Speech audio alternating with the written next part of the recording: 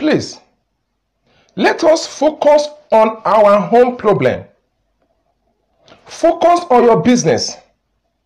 Focus on how your home will start working again. How your fellow one marriage is not working, of which you know to yourself that your own is not working. A matter of both couple to understand themselves and make this work. Don't do everything to make sure that what your fellow woman is doing to her husband is what you are still going to do to your husband. Don't do what Mr. B is doing to his wife. The same thing you also do to your own wife.